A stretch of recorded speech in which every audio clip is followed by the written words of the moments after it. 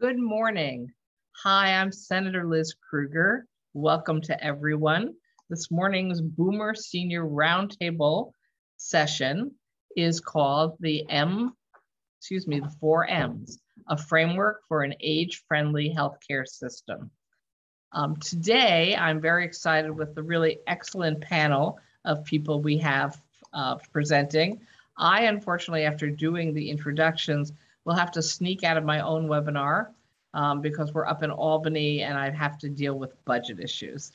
So I want to welcome all the participants who are viewing on Zoom and or Facebook or might be calling in to this now second session of my 2022 Boomer Senior Roundtable Series, Aging in Place, Living Well in the Community. The seven part series will focus on some of the issues we need to address to age in place well. Future roundtables will focus on being solo and aging, technology, and making your apartment age friendly. I hope you can join us again for one or more of the future roundtables as well. As always, we have closed captioning available in today's event. And as a viewer, you can activate closed captioning on your computer or tablet, depending on which system you're in.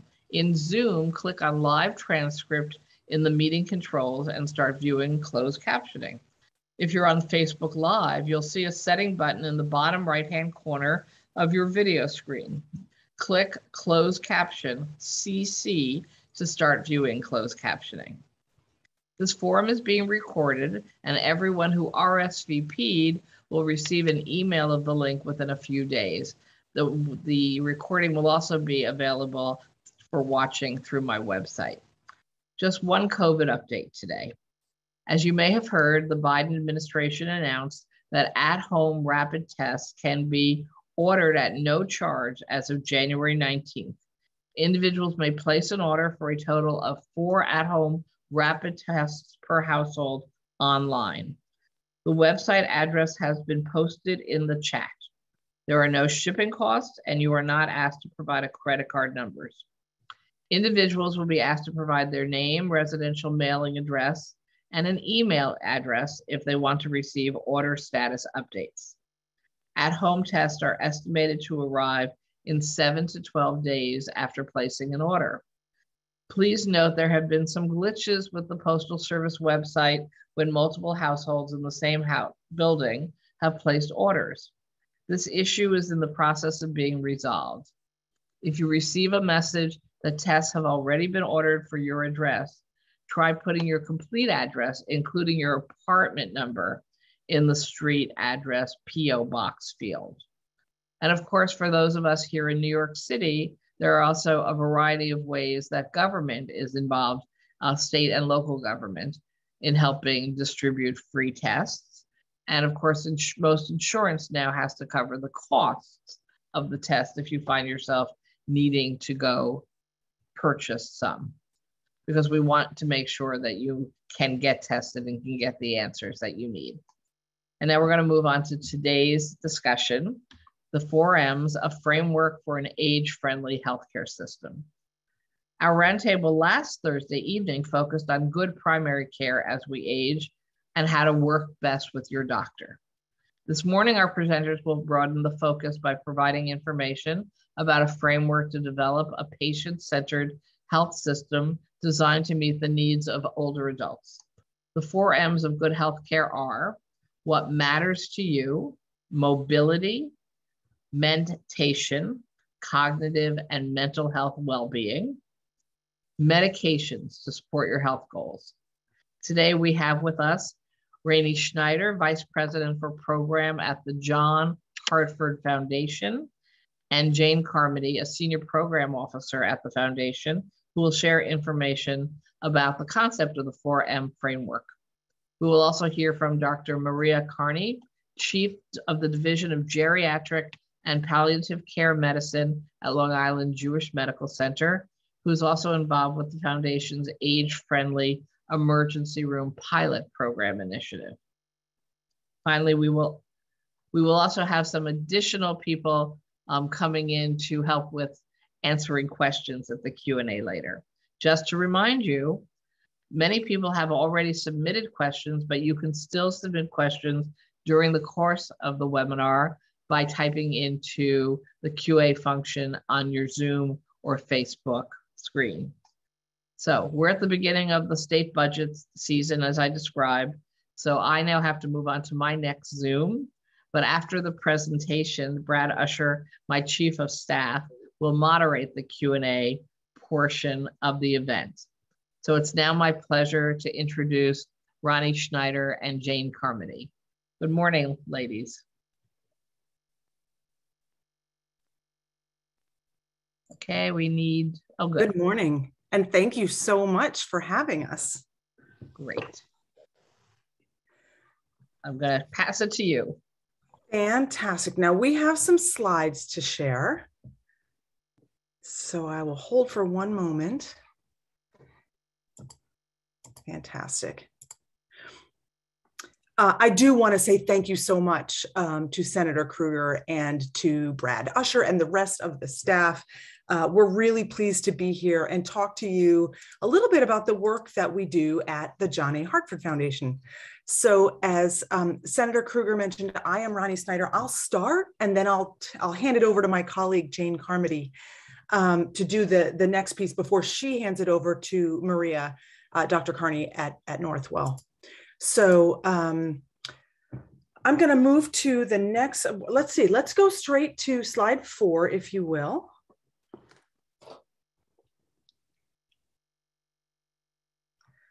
And then we, um, I, I, mentioned, you know, I want to thank you for being here. So let's go to the next slide. And I'll tell you just a little bit about the John A. Hartford Foundation. So we are a private philanthropy. We're based in the city. Um, we're established by the family owners of what you may know as the Great Atlantic and uh, Pacific Tea Company, otherwise known as A&P Grocery. Um, and we've spent more than a half a billion dollars at this point in grants since the launch of our Aging and Health program in 1982 to improve the care of older adults. We really operate at the intersection of um, aging and the healthcare system. So, um, next slide, please. I do want to say that while we um, operate, we live and operate in New York, um, the work that we do is national. So the talk that I'm going to um, share with you today is really going to be um, introducing some of the work that we do nationally and then doing a little bit of a deep dive in various places of how that work is playing out in New York. So, as I mentioned, our mission is dedicated to improving the care of older adults, and we do that through these three program priority areas. We'll be talking the most today about building age friendly health systems. In addition, uh, we have an area around supporting family caregivers and another around improving serious illness and end of life work. You can see from this image that these are um, not siloed areas. These are very much overlapping. And as I sometimes say, for example, you can't have an age friendly health system if you're not supporting family caregivers. Similarly, you, you can't have a, an age friendly health system if you're not really working hard to improve serious illness and end of life care. So, next slide, please. I do want to say we think of the work that we do as a catalyst for change, and that we also view collaboration as a really key piece of the work that we do. So, again, we're really happy that you're here um, to listen and, and ask good questions at the end. So, why do we need age friendly solutions? So, we're looking at the future, right? So, starting with the demography, the growing number of older adults followed by um, the complexity of care for many older people. There are multiple chronic conditions. We see increasing numbers of dementia. Um, as we age, we are more likely to have disabilities and other functional limitations. And some of us have had them for many, many years. And last but definitely not least, when you think about the healthcare system, is the possibility of disproportionate harm. So, uh, for many older adults, uh, they'll have higher rates of um, healthcare utilization, will have um, healthcare related harms, and there too often can be things like delays. We're seeing more and more of that with COVID, right? And discoordination. Next slide, please. So, where does that bring us? It brings us at the John A. Hartford Foundation to age friendly solutions and the ways that we can address some of these concerns. I'm going to talk in a minute about our thinking around eliminating ageism. Uh, but we also focus very much on healthcare, the communities that we, we all live in. And again, that's why we're here today. Um, and social services, which are so key and the other very critical part of what makes us healthy or not, as well as public health. So we'll touch on all of those a little bit this morning. Next slide, please. So I mentioned ageism. This is something that we think about across all of our work. There is ample evidence that shows that ageism has a true and a negative impact on our health. Uh, one in five adults uh, report experiencing ageism in healthcare, and it leads to both over and under treatment in different situations. And really, all of us have a role to play in redefining aging and the negative biases um, against getting older. You've all heard the comments, right? Um, so we want to start talking about aging as what it is a natural lifelong process that unites us all, acknowledging the contributions of older people in our society and making sure that we're not talking about aging as a problem or something that needs to be fixed or a disease that needs to be cured. We are building momentum the momentum that we all get as we age and that our society gets when we recognize, respect, and call on that momentum to help all of us. Next slide, please. So another piece of being age friendly, which is is broader, uh, slightly different and a little bit broader perhaps than age friendly health systems, is age friendly communities. And this fits into a, the, the broader age friendly ecosystem that we see um, lots of opportunities for. Um, around 2006, the World Health Organization began its global network of age friendly cities. So our age friendly health systems came after that and is very much um, a complement. So in 2012, AARP became the official US affiliate, spreading age friendly cities and communities and states. Um, sometimes you may hear them referred to as livable communities. Next slide, please. So, what about New York? Uh, AARP recognized New York as the first age friendly state in 2017. And then in 2018, the governor made a commitment to have 50% of our health systems become age friendly. Therefore, moving towards age friendly health systems. And so I'm going to tell you a little bit more about what that is in a minute. Next slide, please. Okay, so I'm, I'm moving more specifically to healthcare. Um, so for older adults, we've seen the complexity that I mentioned previously, the possibility of disproportionate harm. And uh, we know that there are a lot of evidence-based practices and various geriatrics care models that, that exist, that have been proven effective, for which we have evidence. Um, and yet, they really only have reached a portion of the of the numbers of people who could benefit in a whole variety of different places and settings. So they're difficult to disseminate and scale. They can be difficult to reproduce in settings that have less resources, for example. If something's created in a in a resource-rich academic health center, it can be harder to put that in a community hospital, for example. Uh, and they don't always translate across different care settings. For example, something that works in a hospital might not work in a, a doctor's office or in a nursing home. So um, there are these complex care needs, chronic conditions, functional needs, and the possibility of advanced illness. Next slide, please.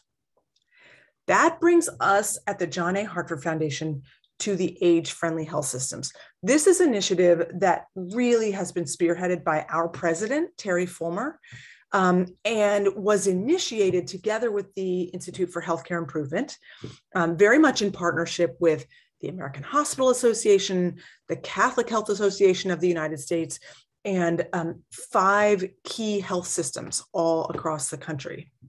Next slide, please. I'll tell you a little bit more about what age friendly health systems is. The age friendly health systems framework, as Senator Krueger mentioned earlier, is based on these four M's. Now, we always put the um, what matters at the top. And that's because what matters to the individual and their family um, is so key to all of the other ends. These come together as a bundle and um, really is about the specific health outcomes and uh, goals and care of care preferences um, for that individual. The other three M's, and they're, they're all, again, interrelated, include medications. So if a medication is necessary, using age-friendly medications, because not all medications are appropriate for older adults in all settings, um, that doesn't interfere with what matters, again, back up to the top, or with mobility or mentation across various settings of care. Second is mentation. Now that's anything cognitive. So um, that could be delirium, depression, um, dementia, and really, again, across all settings of care.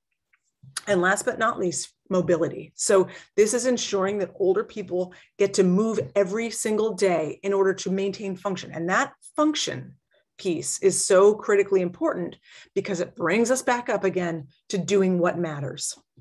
So next slide, please. So we initially called this a, a, grant or an initiative. And I'll tell you what, right now, this is a movement. It has spread like wildfire. So um, originally our goal, as you can see here, was to spread it to 1,000 states, uh, excuse me, sites across the country by the end of 2020. And if you look at where we are now, now at these numbers that are on the slide are as of December 2021. And uh, by that time, we had reached almost 2,500 hospitals, practices, meaning doctors' offices um, or clinics, um, convenient care clinics that I'll tell you about in a minute, and nursing homes and pay sites all, all over the place um, that have joined this movement. And we've got, I think I heard a number this morning that was more than 30 different countries who are in some way participating in this. So we're very excited about the progress. Next slide, please. I mentioned convenient care clinics. So we do have an initiative uh, with CVS to um, partner with them and put age-friendly health systems work in every single CVS Minute Clinic. So um, there's 1,100 of them across the country, and those have included training and education for the nurse practitioners who are the primary uh, employees at those minute clinics, and building the concept and, and the work behind the four M's into the electronic health record to make sure that it's being documented and acted on. Next slide, please. We're back to New York. I'm going to keep coming back to New York. I mentioned earlier that in 2018, the governor's office um, made put out a directive that 50% of uh, New York health systems will be age friendly in five years. That includes emergency departments, and I know you're going to be hearing more about that from uh, from Maria later. So I'm excited to hear what she has to say. Right now, the statewide effort is being led by the New York State Health Department. So the Healthcare Association of New York State is supporting the efforts, and there are 35 to 40 sites participating in the age friendly health systems movement. That was funded not just by us, but also by four other New York based funders, uh, other foundations who have committed to age friendly health systems, to geriatrics emergency care, and to reframing aging. So, um, similar to something I said a few minutes ago, you can't have age friendly communities without age friendly care. Next slide, please. We acknowledge the true importance of social services and supports, as I mentioned earlier, as part of what is health and healthy. Health starts in our homes, our schools, our workplaces. Health starts in our neighborhoods and our communities, uh, where all of you are. And it's also very much embedded in the nature of our interactions and our relationships. So you can see here 80 to 90% of health outcomes driven by health related behaviors and other factors, environmental or, or socioeconomic. Um, and of course, COVID in the last, gosh, going on two years now, has exposed these persistent health and economic disparities that have put members of certain racial and ethnic minority populations at an even higher risk of infection, of severe illness, uh, and of death, really. So we want to be very cognizant of that. Um, and then also um, community-based organization capacity is critical because of the, the interrelationships of these social determinants of health that go together with health, but are broader than just your health care for sure, um, as well as educational and community-based programs, these are the ways, these community-based um, organization capacity that are most likely to succeed in improving health. So we have a whole host of initiatives underway at the John A. Hartford Foundation to bring together um, the community, social services, and supports world with the healthcare world. Um, and we'll talk a little bit about a couple of those. Next up, next slide, please. The other one I want to mention is public health. You know, um, public health is indeed responsible for these really dramatic increases that we've seen in longevity. But it's really interesting. Although state and local health programs distribute things like, you know, the vaccine, the seasonal flu vaccine, and they offer certain programs for, for balance and exercise, let's say, or for di- diabetes care um, or nutrition, and they may reach older adults, very few, virtually none, frankly, of the state public health departments have any kind of specialized division focused on the health of older adults. And doesn't that sound like something we ought to be paying attention to? So, despite the, the growing demographics, public health departments are still much more likely to attend to maternal and child health um, and infectious diseases than they are to older adults and the chronic illnesses that are prevalent for older adults. This is something we're focused on. So, next slide, please back to New York. So, New York has been the first state to be recognized as an age friendly public health system. This is an initiative that we work on with an organization called Trust for America's Health. And um, New York is one of the, the star states in this endeavor. Next slide, please. So, I want to talk about on ramps to age friendly health systems. Um, we see much of our work again as synergistic, as mutually reinforcing, and as age friendly, even if it isn't specific and didn't start with those four M's. So, for example, I'm using the geriatrics uh, ED work that you'll be hearing more about from Maria um, as an example here. Um, the age friendly health systems movement and the movement to spread geriatrics emergency departments are deeply aligned.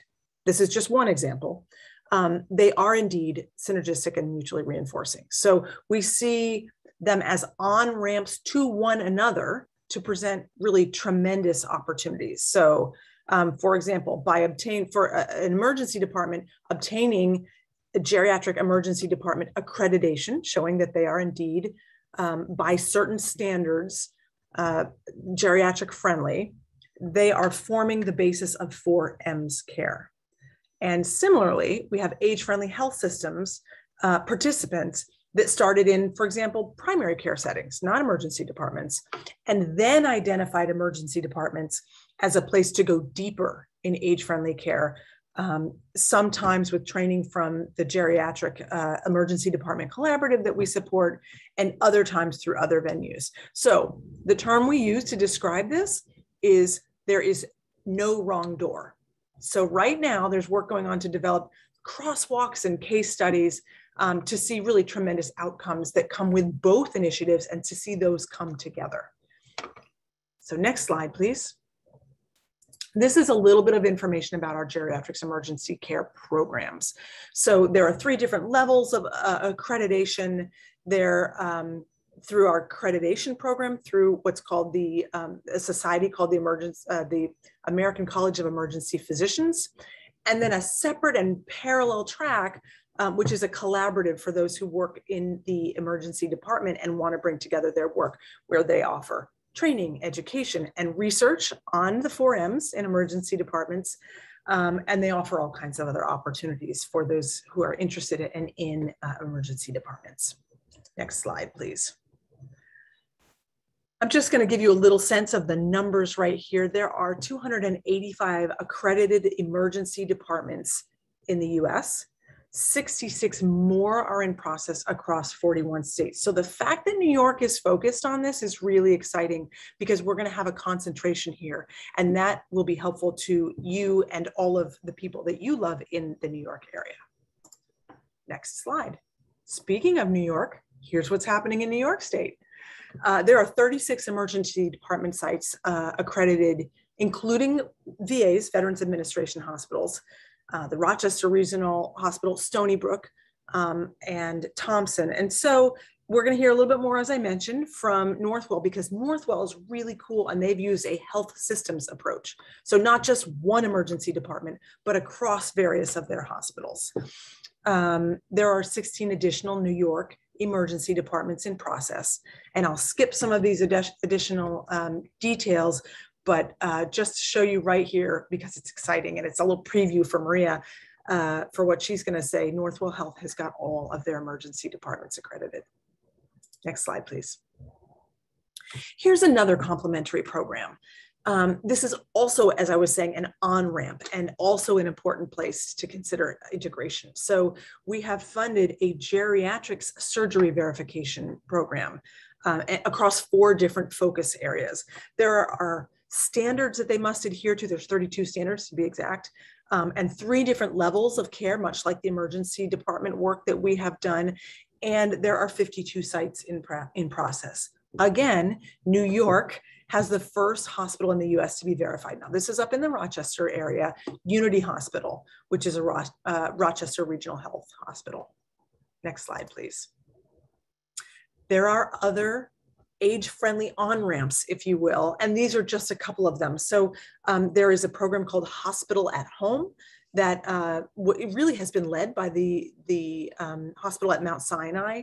Uh, there's currently a waiver by the federal government, CMS is the Centers for Medicare and Medicaid Services, to allow additional hospitals during COVID to do this hospital at home program for people who qualify so that um, instead of going to the hospital, they can get truly hospital level ser services at home for certain, uh, certain health needs.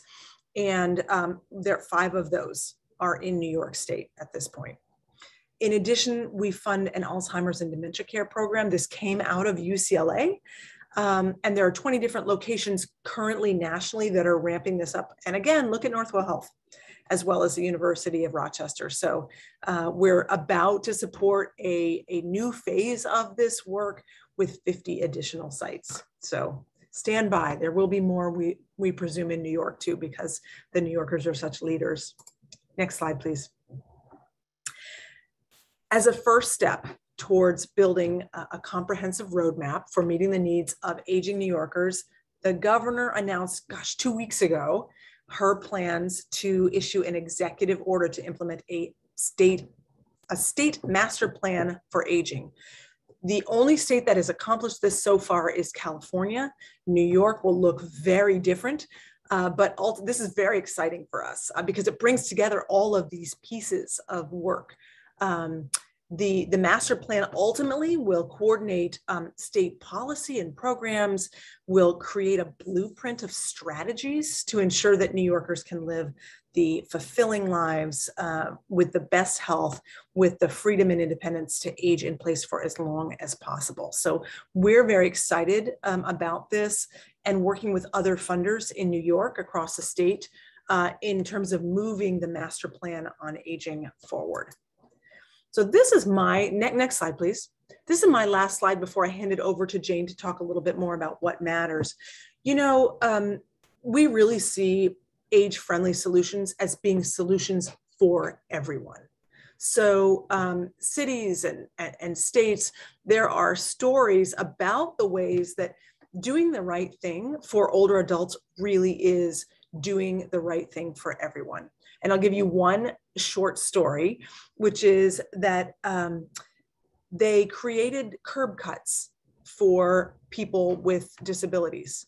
Um, but ultimately, curb cuts, as you know, so that it's so that there isn't a step up onto the curb. Um, ultimately, those are helpful to all of us. They they help parents with children. They help people with walkers. They help um, all of us to live a better and easier uh, and uh, life, and therefore to affect um, our mobility uh, and ultimately what matters to us. So that's one small example. There are other examples shown here. You can see to the to the right, that's um, Sarasota beaches use this, um, they call it a Mobi-Mat for older people to be able to get up and down to the beach. But look at that, it really helps everyone. So this is for, for all of us and for our community. And with that, I'm going to stop. I'm going to turn it over to Jane Carmody, who's going to do a great job sharing with you a little bit about what matters most. Thank you so much, Rani. Um, and I'll add my appreciation for the opportunity to be here today and to talk about our favorite topic, which is improving care for and healthier lives for all of us as we age. Now, it sounds like last week, um, uh, the uh, Senator Krueger had a talk with uh, how to uh, talk with your or uh, have a, better primary care. So I hope this fits right in with that. And I think it'd be fun to talk about what matters most and figure that out for all of us. So next slide, please. I, well, you have my slide. Yeah, now go to the next one. I should have said that, Jason. So um, um, I will take a few minutes to talk a little bit more about what matters and how to figure out what that is and how to better discuss what is important with your own healthcare providers and your own physicians. Age-friendly uh, health is an initiative, as Rani talked about, building, uh, focusing on building health systems that provide high-quality healthcare to older adults. And in an age-friendly health system, they take patients' needs and preferences into account in every aspect of care, and that's what we're working towards. In 2013, the foundation started a partnership and still goes on today with a well-known geriatrician, you know, those are doctors who focus on older people, to figure out how to improve care for older uh, people, to move from treating diagnoses to caring for priorities for whole person care. So treating diagnosis and caring for priorities for whole person care. This team figured out a better way and a new process, and they termed it patient priorities care to address what matters most, as Rani's talked about.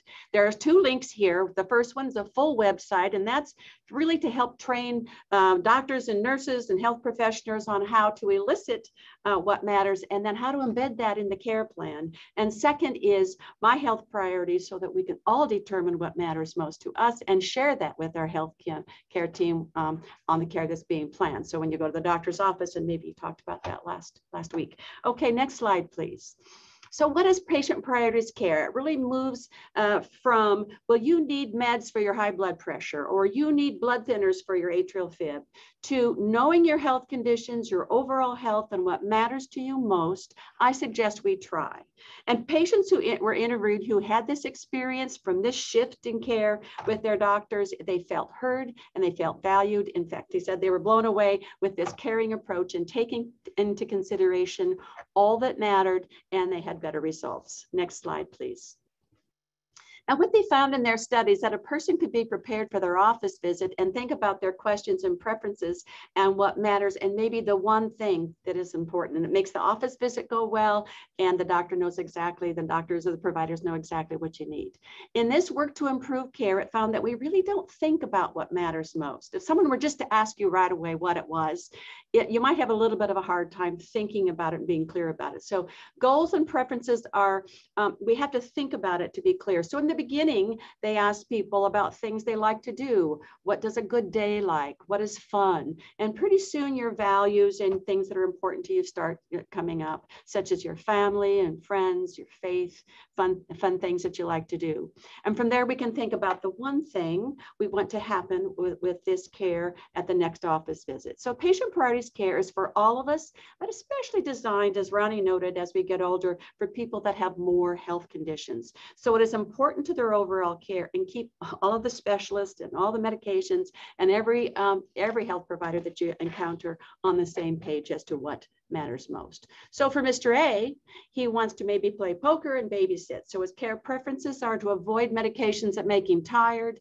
He doesn't go to the doctor's office all the time and he really doesn't want any more procedures. And his one thing that he wants to be is I want to be less tired so I can get to poker and babysit my grandson. And I think it's my medication. So he's figured this all out as he gets to the doctor's office. So next slide. What do we need to know and do? We need to know our health priorities. And what we need to do is to be an active partner in our healthcare decisions. Next slide, please. So what are your health, uh, health outcome goals? They should be specific and measurable.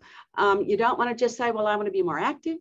I want to walk more. It really should be uh, things that we can think about, do, and then measure and then move on. I want to walk two blocks so I can babysit. Or I want to walk one mile three times a week with my walker, and then in three months move to a cane, you know, etc.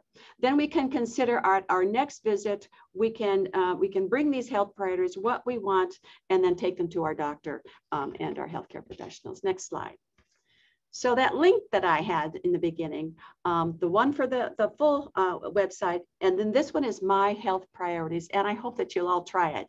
The link is available on your computer or your phone. If you don't have uh, a phone or computer that you can use, uh, maybe a friend or a family can print out the forms and you can do it on paper. But this Health Priorities uh, site takes you through each section. And what can kind of be annoying about it is that you have to answer something before you can move on. You can sign in and have a place to keep this information, or you can just sign in as a guest. And uh, you, if you want to try it for the first time or always be a guest, and if you keep it uh, logged in, then and then they can kind of keep a record. So next slide, please it just goes through what matters, kind of helps you kind of articulate what is it that what matters to you. It'll go through, um, oh, you know, what do you enjoy in life? You know, what function do you want to have? How are you managing your health and connecting with friends and families? Next slide, please. The site asks us to think about what does a good day look like? Who or what matters most in your daily life? What activities are most important? And what activities would you like to do more of? And the next slide, please. We're almost there. Then comes the summary. And you can print this out. You can think about it and go do it again if it didn't uh, come out just exactly as you wanted. And then uh, as uh, and then do it uh, more often. You know, sometimes you have to do it, you know, every few months, maybe if your if your health uh, conditions change or what matters to you most changes, because um, we want to make sure that this is accurate. And I want you to print it out and take it to your doctor. I think, next slide, please. I think you'll enjoy, doing this. It is also has some suggested questions and conversations, and maybe you heard about that last week with the, the talk about primary care uh, doctors. It helps all of us be more confident in what is important and to use the time in the office visit with our healthcare professionals uh, so that it, uh, don't you hate it when you walk out of the doctor's office and say, oh, I forgot to ask this, or I wish I'd do this, or I told him this medication is bothering me. So this one can really really help you be organized. The team that developed patient priorities care is working to teach healthcare professionals, doctors and nurses about their part. So to listen and to take into account um, and to center on, on the person and their what matters most in providing age-friendly care. And with that, I am pleased to introduce my favorite New York geriatrician, Dr. Maria Carney, who is working hard to bring age-friendly care to Northwell and to the city. And so Dr. Maria, I'll turn it over to you. Thank you so much. Can everybody hear me all right? I hope everybody's muted. Um, thank you. I want to thank Senator Krueger for having me, um, to invited me to this, to Rani Snyder and Jane Carmody. Thank you very much. It's been a wonderful partnership. Uh, can we move to the next slide, please? Next slide. Great. Thank you so much. I am excited about being here because Northwell has embraced the age-friendly health system.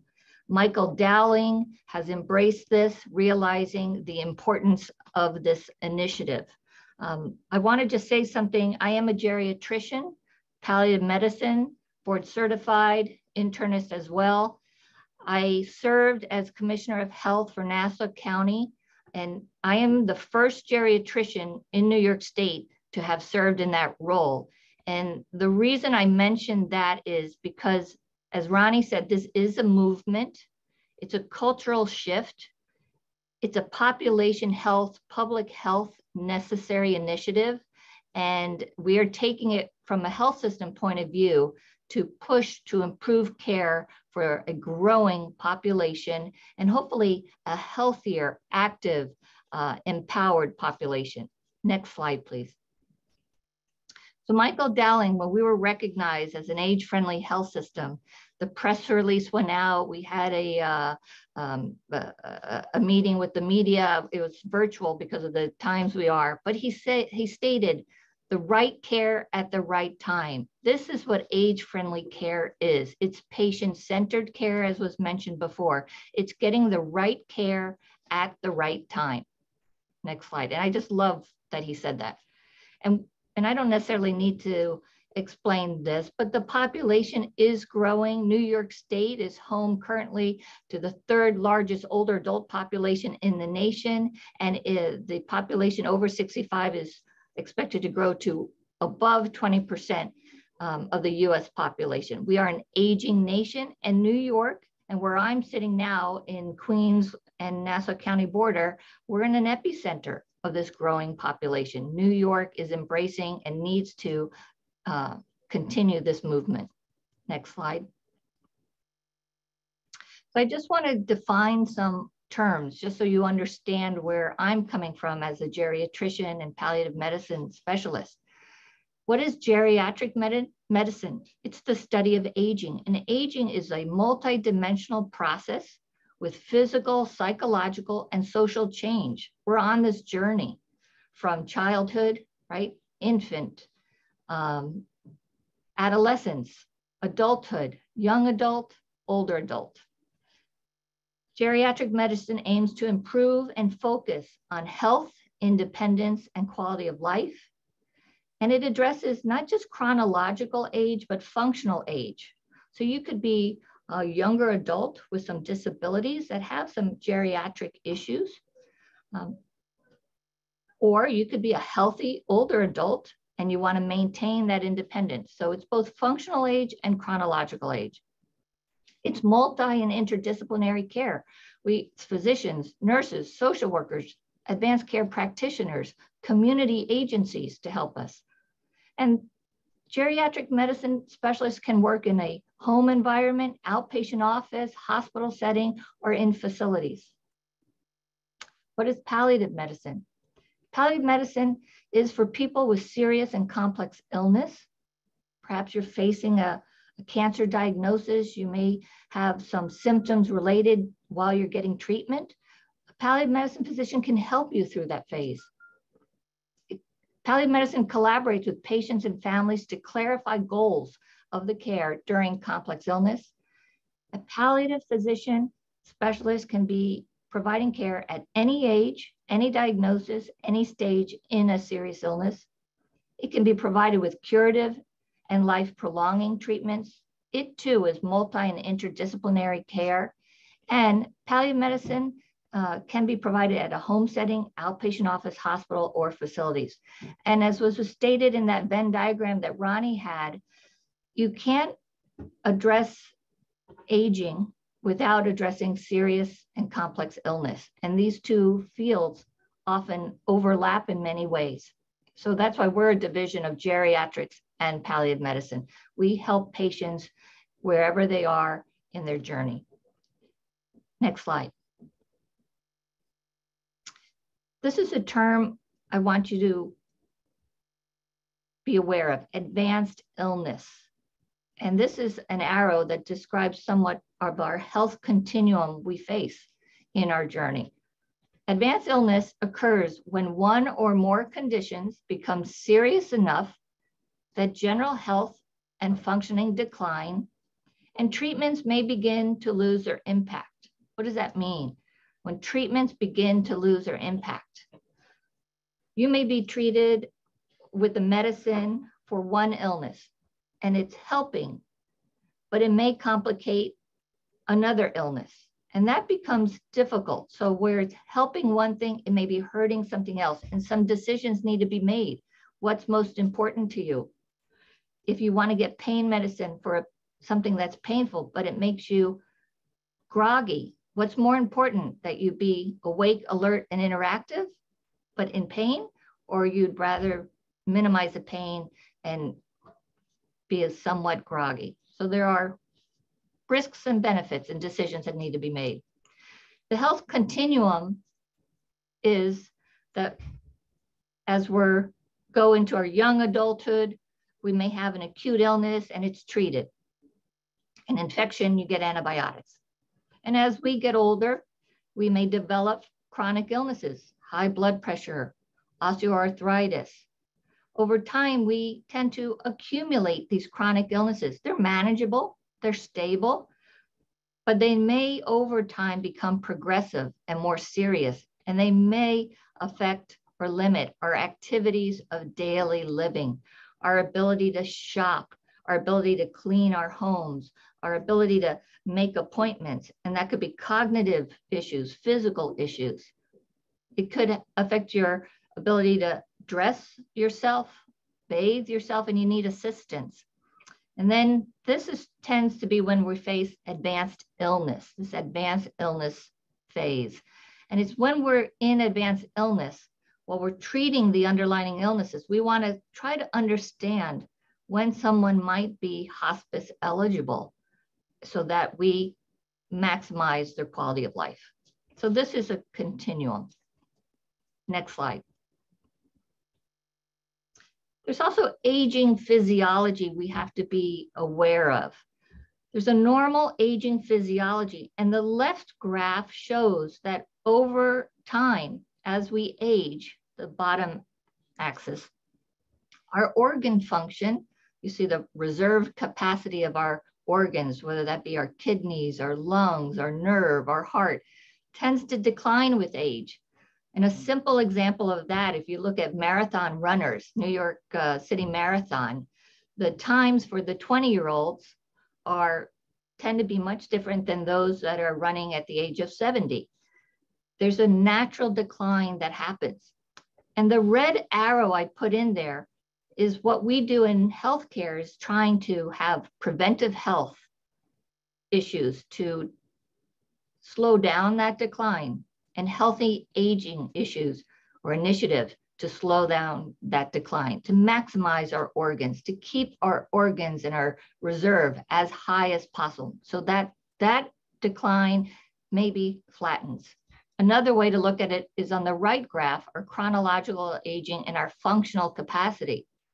There is a decline with normal aging, and these healthy aging efforts or preventive health efforts are trying to push that decline up so that we delay frailty and delay disability and maximize our independence. That's what we're trying to do with healthy aging. Next slide. This is just our mission for our division at Northwell. It's the Division of Geriatrics Palliative Medicine across our health system. We want to provide reliable, high quality care to older adults and to all those with advanced illness. And we want to provide resources for patients and their loved ones. Next slide. Just briefly, this is Northwell Health. We are a health system, 15 hospitals in this area, but we're integrated. Next slide. We're not just hospitals, we're not just physicians in the community. We also have subacute rehabilitation, long-term care. We have laboratory services. We have home care called Northwell at Home. We have outpatient rehabilitation called STARS. Um, and we have hospice care. Next slide. So we're an integrated health system, which is unique. I want to give two case examples uh, and then get into Hal we are implementing age-friendly health system. Next slide, please.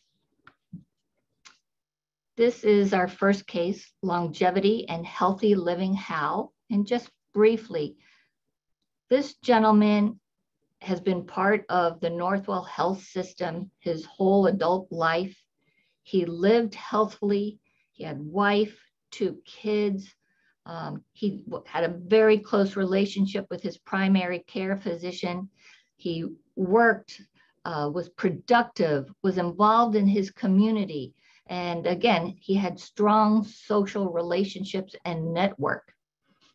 Um, after he retired, he continued help, working in the community. He wrote books. He had a radio show. Um, he was interested in promoting healthy aging uh, because he felt he had the benefits of uh, a wonderful life. At the age of 89, he developed pain in his thigh and he was diagnosed with a sarcoma. Uh, his primary care referred him to oncologists, and in oncology, he worked with our supportive oncologist, doctor, and spoke to him about what was most important to him. And for him, it was to live at home, in his home, as independently as possible in the community and to continue his community efforts. Um, he, he was not interested in getting many uh, opiate pain medicines, so he was open to acupuncture and medical um, marijuana use to help prevent the use of opiate meds for his pain. He was able to participate in the chemotherapy Uh, for years, he continued living in the community until one day he fell and broke his hip. He went to the hospital, was discharged to subacute rehab. And in subacute rehab, the conversation about what matters most continued. And it was always, I want to be home. I don't want to be in the hospital. I want to be with my family and my community. So those discussions led to him going home. He got care at home. We had a house calls program involved that he was involved. He was able to get care at home and he was transitioned to hospice care at the age of 94, six years after his original diagnosis of sarcoma. So that is an example of Next slide. So this is the health continuum example where he was living independently and then had a short course of being in an advanced ill state. And he had strong connection with his primary care, with the health system, and he had healthy aging. He discussed what matters most to him throughout his course. He described what was important to him medication wise, and he avoided harmful medicines or minimized them. And he tried to maintain his mobility and independence for as long as possible and utilize rehab. So he had good transitions of care, and we achieved goal concordant care for him. Next slide. And case two is uh, Roberta, who utilized um, our emergency department.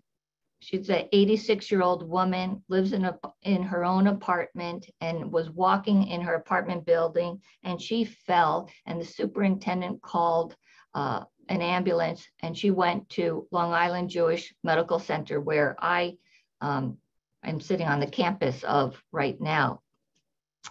In the emergency room, she was evaluated by the physician. She got the x-rays, blood work, um, they were able to call her family member to understand her baseline. And as it was realized by the social worker in the emergency department that this was her third visit to the emergency department in three months.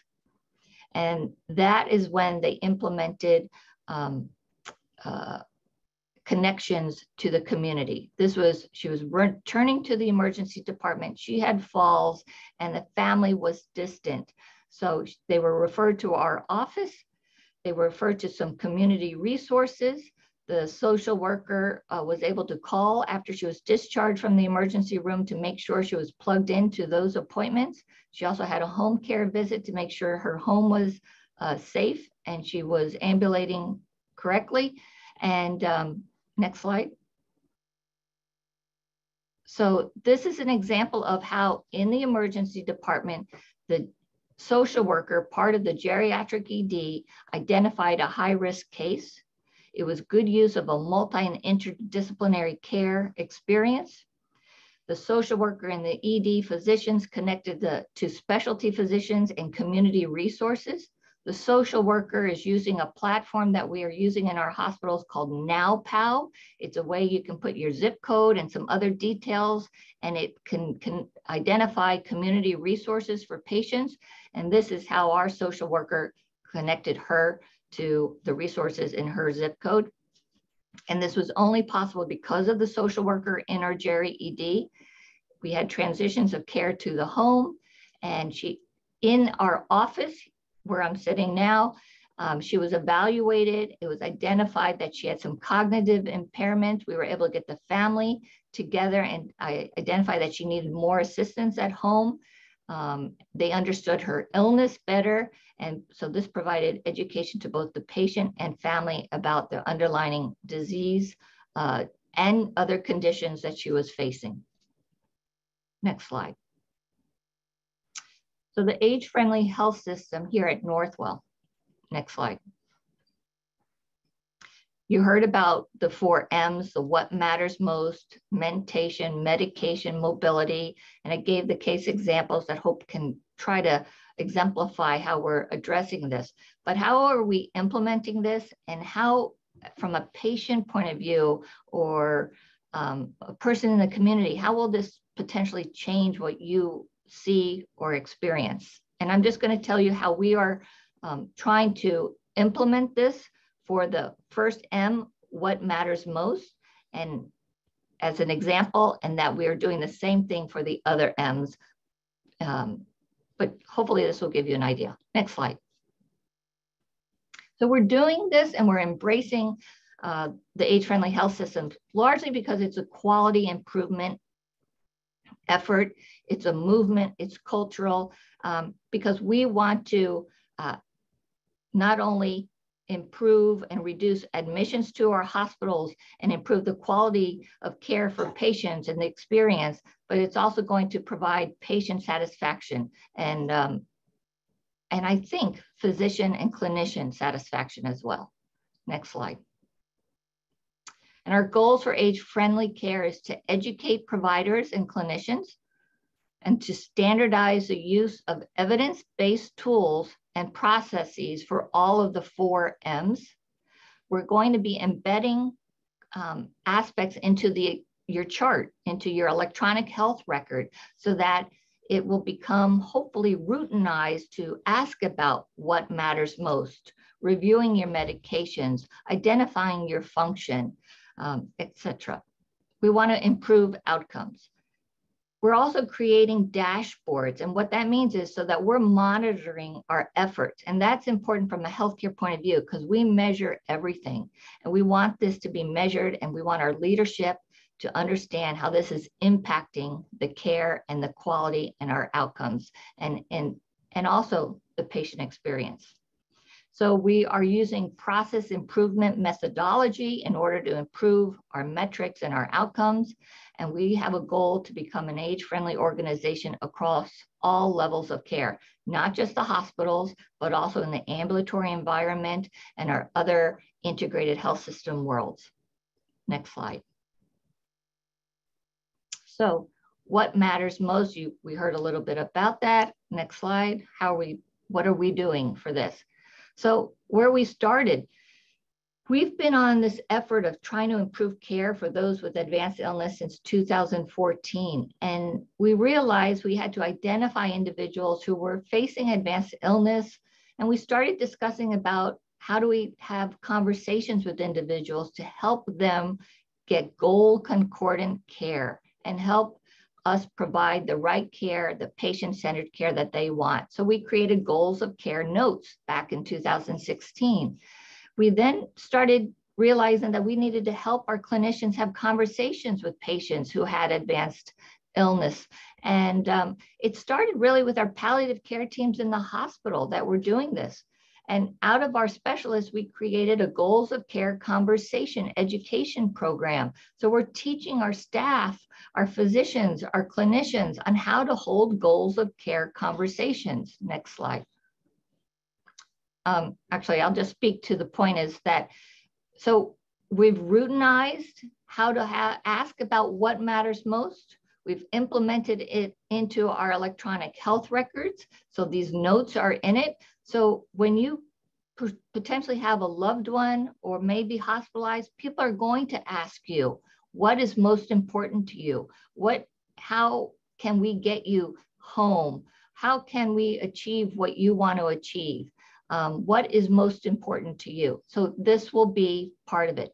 We're then now moving on to the next M, mobility, and we have evidence-based tools for that. We have ways to implement it into our chart. We're trying to educate our clinicians with it, and it's a movement across the health system, partnering with our clinical transformation group in our health system to implement, embed, and change the culture.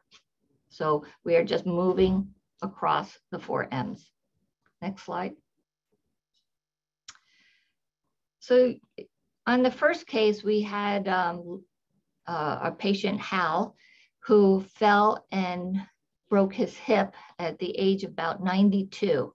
And um, we have embraced an initiative that has also been uh, supported by the John A. Hartford Foundation.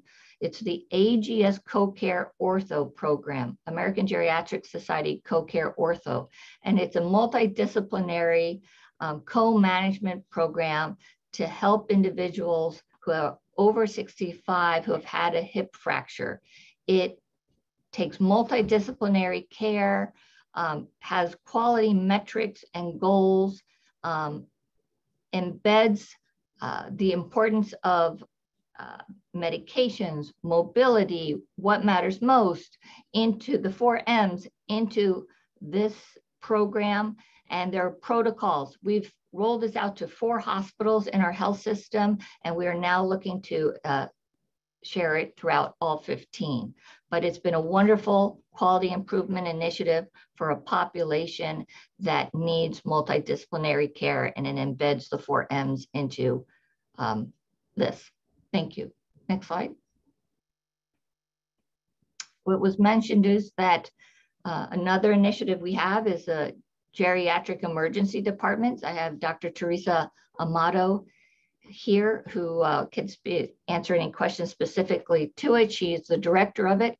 Um, what's wonderful is that we have all 17 hospitals um, in our region um, and even beyond our region, uh, that's why it's 17, are all certified in geriatric emergency department at um, level uh, three, the lowest level, the base level, and that is an enormous accomplishment. And then our one hospital, Glen Cove Hospital, has just recently gotten to the gold level, level one, and that has a separate area um, similar to some hospitals have pediatric emergency departments.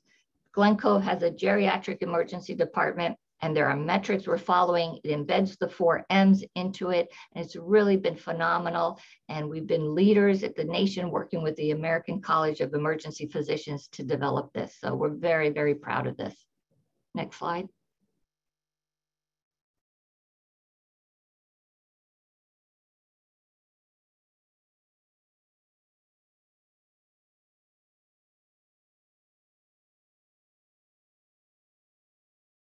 Alzheimer's and its own management pro, uh, program. We have a geriatrician, nurse practitioner, social worker um, to help patients with dementia and their caregivers. It's a dyad. It's a patient caregiver dyad where we support, follow, and help them as the they deal with the um, journey of dementia. And we've been, this has been enormously successful for us. Next slide. Um, I just want to mention this because I just think this is a future and it's going to be part of our age-friendly health system, not only linking to community resources, but educating patients and families about technology trends and resources available, whether it be in-home electronic assistance to stay in touch with your loved ones, telehealth we're using in medical visits, in-home cameras and motion detectors are just uh, becoming normal GPS for patients with dementia who may be wandering so that we can safely find our, uh, those that may have wandered out of our site. Um, Amazon, you can order so many items in Amazon, um, but how do we work with your insurance to get that so that we minimize expenses? But yes, so much is available on places like Amazon. The NowPow platform I mentioned earlier is a community referral tool, which is changing how we provide care. Adaptive clothing to help caregivers who are involved in caring and dressing loved ones. And then other devices like alerts. Uh, Northwell On Call has a medical alert that we offer to if uh, if you need help and you can't get um, uh, someone to you and you're living alone. So there's a lot of new innovative resources available that uh, is changing how we can age and our loved and we can help our loved ones as well. Next slide. So for Northwell, our future is to continue to promote longevity, independence, minimize frailty and disability, support and empower caregivers, and address serious illness. We are very aligned with the mission of John A. Hartford Foundation. We're very grateful for your partnership.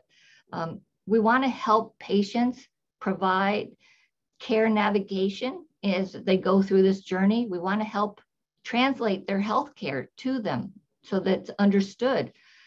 We want to improve access to models of care and develop new models of care as the population is evolving. And healthcare has to evolve with the change in the population. You know, what came out of COVID is the use of telehealth. We need to leverage and and advocate for the continued use of telehealth. And we want to deliver more services in home to keep people out of hospitals um, and aging in place and avoiding hospitalization if that's possible and their wish. And we feel that there's part of all of this movement is advocacy, advocate, advocate, advocate, whether it be against ageism, it's about uh, public policy. Um, so I want to thank you. And I just want to end with Michael Dowling. Uh, I've now encouraged him to now say that, and I hope he will, it's the right care in the right place at the right time. We want to continue to provide patient-centered care. Thank you very much.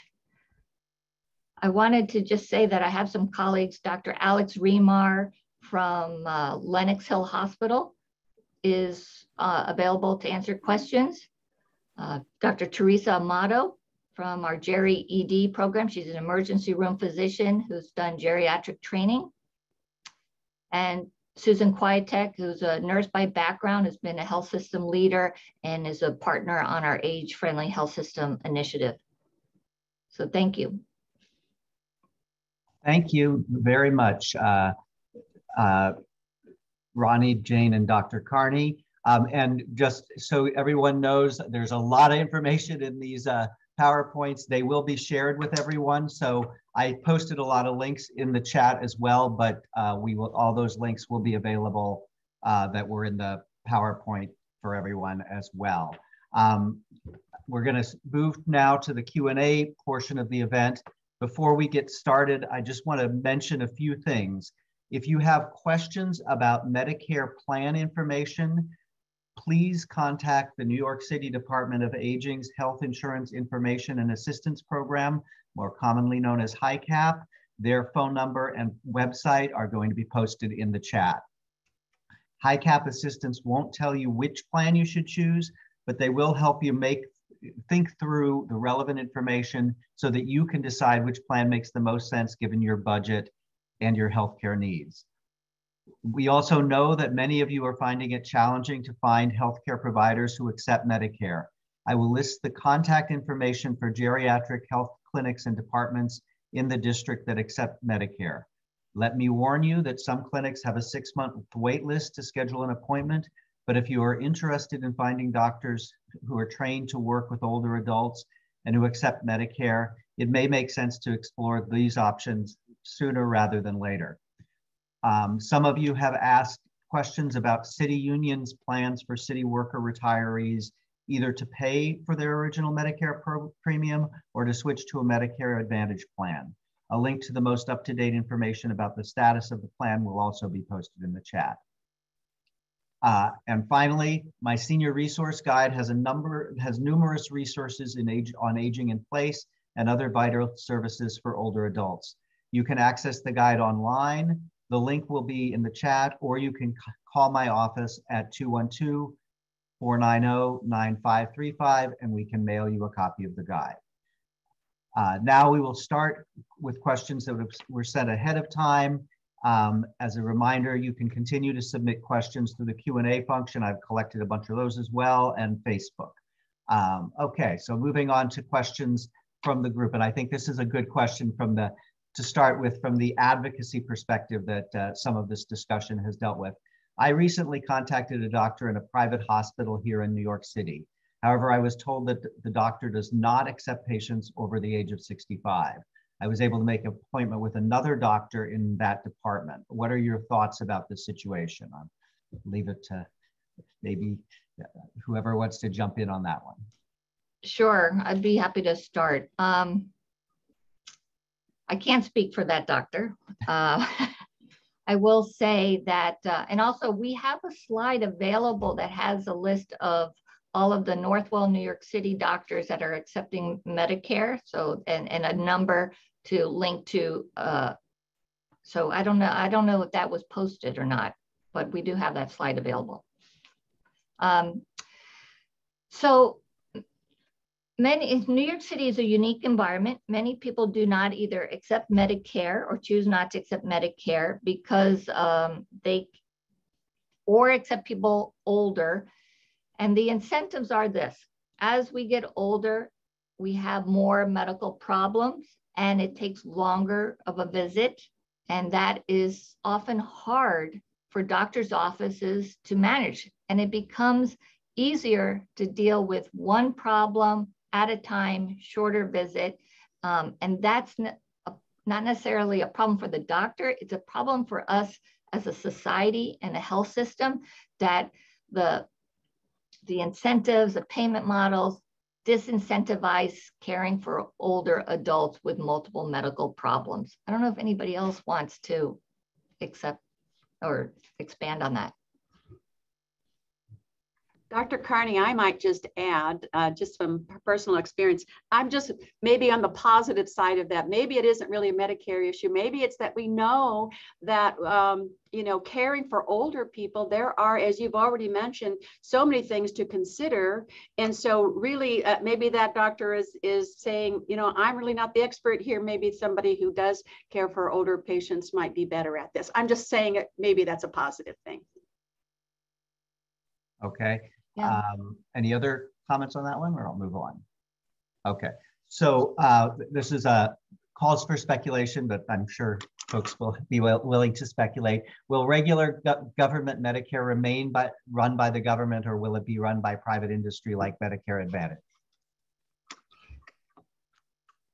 I can jump on that for a second and then let others fill in maybe better information. You know, um, there the Medicare Advantage plans are are advertising heavily. There, the membership in those plans is indeed increasing. Um, I don't think any of us can say for sure or would say that um, fee for service Medicare is going to absolutely go away. Um, and frankly, I, I, personally think it should not. Um, there are some benefits of the managed care plans that are called Medicare Advantage, but there are also some real drawbacks.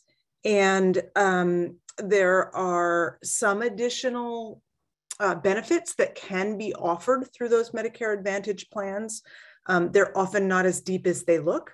And that is a concern for some people who sign up for them. So, you know, um, the numbers are growing because people are interested in that kind of care and getting some of those extras. I think there's a lot of public education to do about um, when those extra benefits are worth it and when they are more just to attract additional enrollees and actually not as helpful as they look on the surface. Yeah, I, I, uh, the numbers are that the percent of individuals on these Medicare Advantage um, managed Medicare plans is growing. Um, there's also some recent information to say that maybe the, the benefits of uh, having it is not necessarily there. So I don't necessarily know the direction this is going personally. Um, I, I, the trends are that's continuing to increase. I agree with you, Rani. I don't think a full fee Medicare should go away.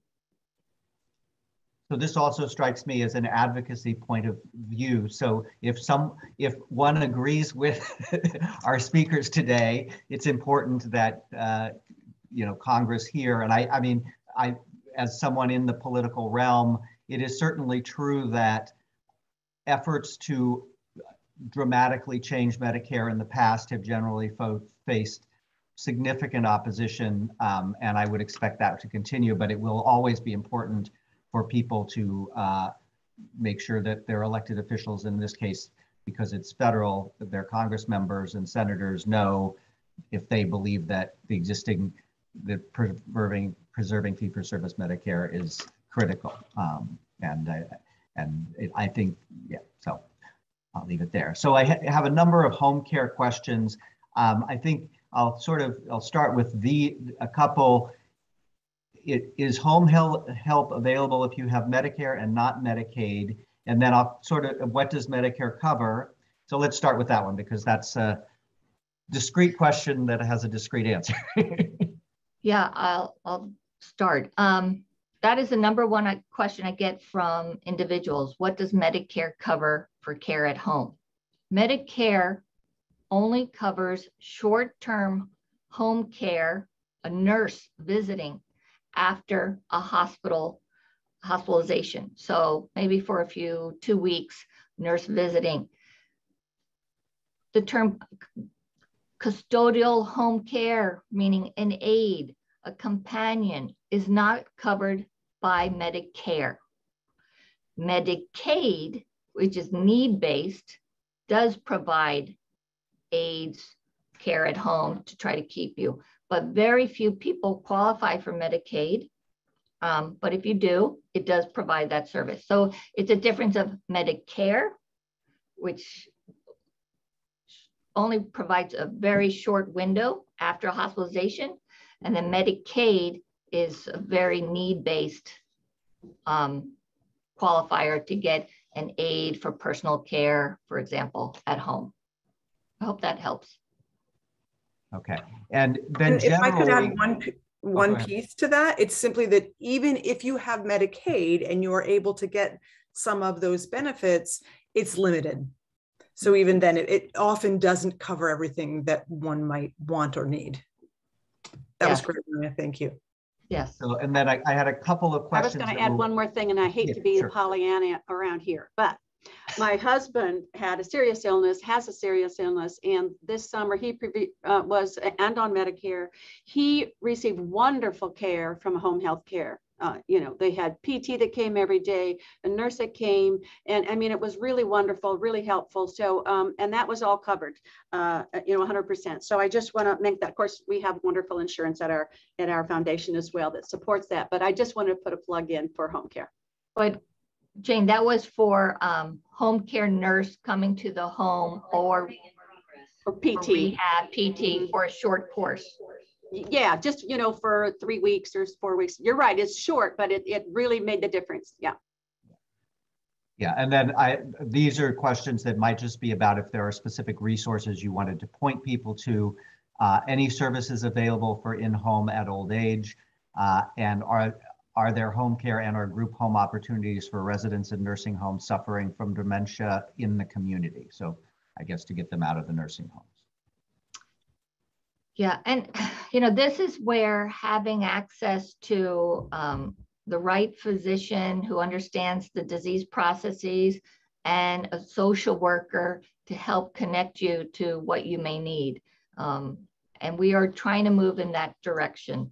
Um, it's so needed in the community. There's also eldercare.gov is a resource that some people can um, put into, uh, you know, look on the website to try to connect to resources.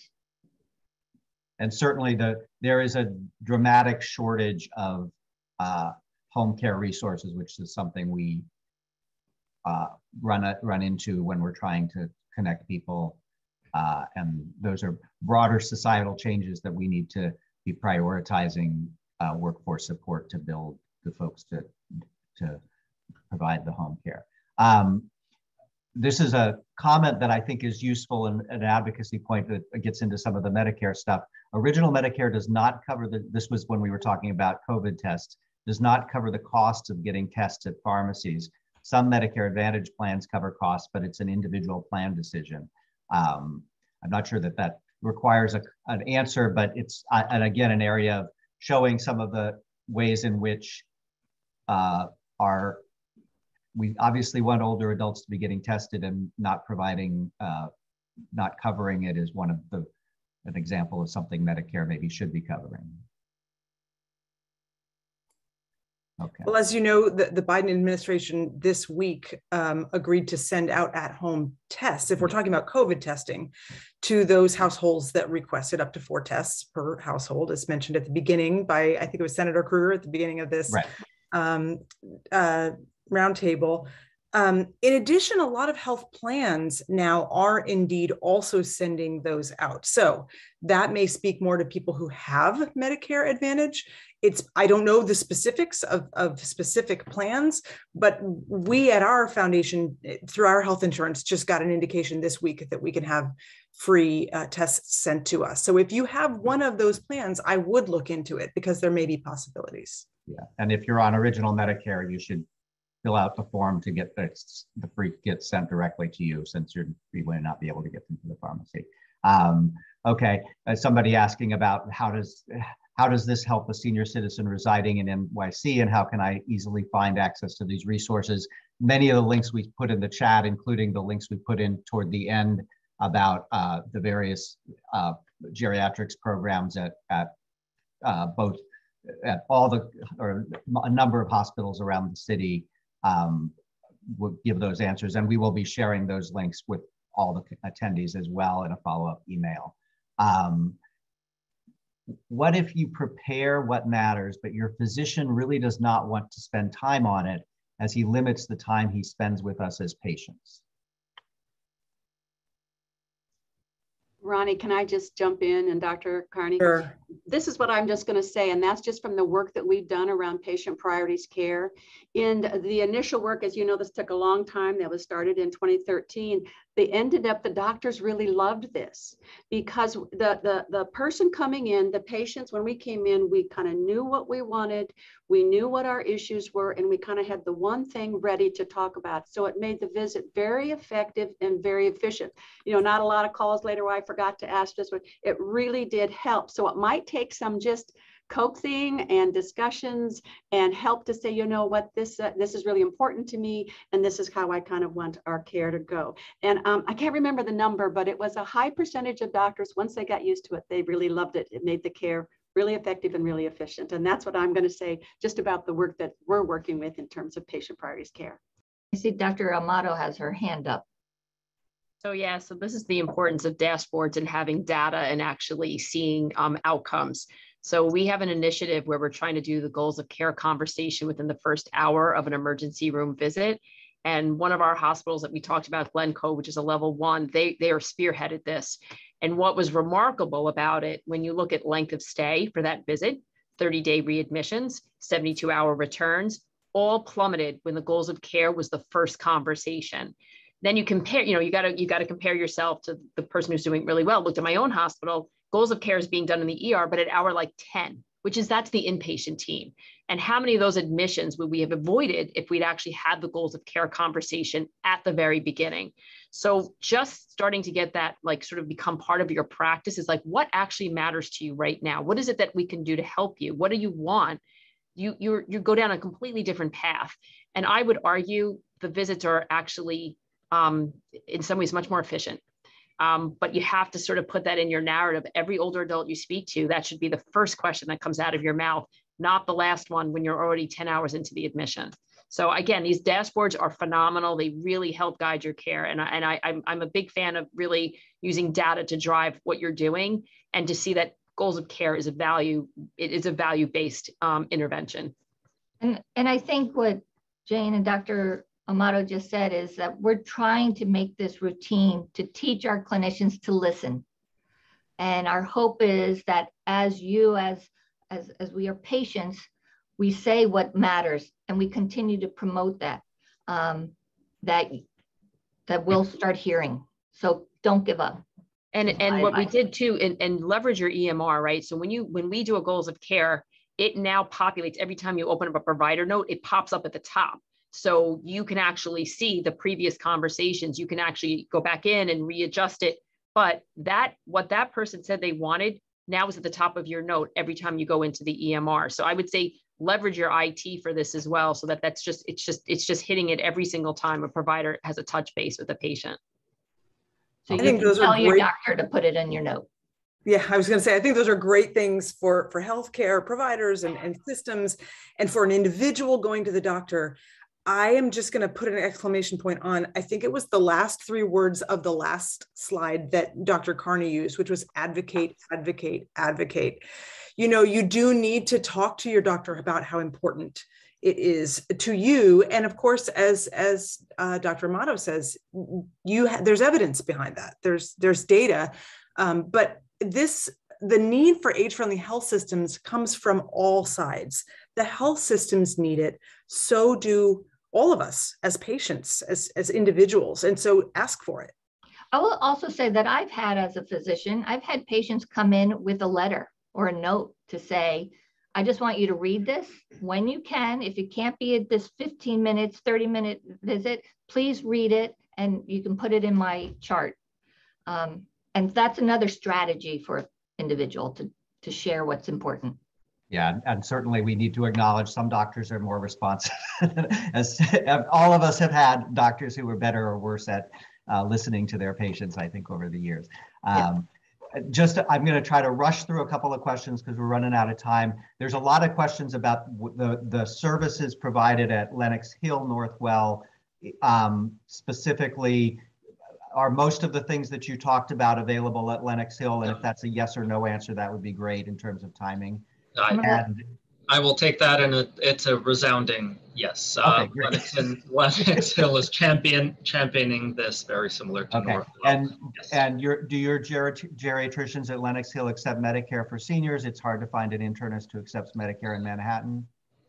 So we gave a, a, I will make sure that that PowerPoint slide that has phone numbers and names of doctors is part of uh, the PowerPoint. I, I, for some reason, I didn't see it there. It might have been a hidden slide. So let's just make sure it's, it's shared with everybody, but we have that, those names and numbers. Okay, and we got a question about other hospitals in the area. We provided some links to other hospitals in the area. We actually did an event earlier with Mount Sinai's palliative care program, um, and I'm sure we'll be doing we, we, I just wanted to, I saw that in the comments. I just wanted to say, you know, uh, we're very collaborative with the other health systems in this area. And I, you know, I trained at Presbyterian. That's where I did my geriatric fellowship. Um, I still keep in touch with the folks there. We we take best practices from each other and collaborate quite a bit. So this isn't like a, a Northwell, you know, initiative. This is like a New York State initiative, and, and the big health systems have all championed this. So, you know, we're just sharing with you what we've done in our journey, but this is in no way saying that they're not doing phenomenal things as well. So I think we're all in this together. Yeah, we are we are lucky in in on in the on the east side of Manhattan to have a wealth of uh, of healthcare resources that a lot of communities would really wish they had, um, including programs, geriatric programs at a number of um, places. And I'm going to end the, with my last question because this is something we hear a lot from our constituents. A lot of this discussion relates to contacting family members. We, what if you are alone and want to stay in your own home? So folks who do not feel that they have a support network, um, don't have family that they can rely on, any advice or suggestions for them? You know, we recognize this um, in our patients. We see individuals who are aging alone. And um, there are ways to be creative in terms of creating networks through Facebook. Just participating in these type of uh, endeavors is a way to create your own networks. Um, we can learn from other groups. Um, I take care of uh, uh, some nuns in the area, and the convents have this um, networking support system. So there are ways to create networks in the community and, and link to resources and highlight your concerns as a solo ager that, uh, that can help you. And there are some resources out there, yes. Great. Well, you know, I, I would add one thing, which is simply that um, we do talk about family caregivers, but um, we don't literally mean only blood relatives, right? We many of us have networks that are broader than our family. And in this instance, we're really referring to your full network, to others who can step in in, in big or small ways. And um, in addition to that, for long-term services and supports in the New York City area, I added a link into the chat um, that is to the um, New York uh, Office of the Aging that may also be helpful to people. Great.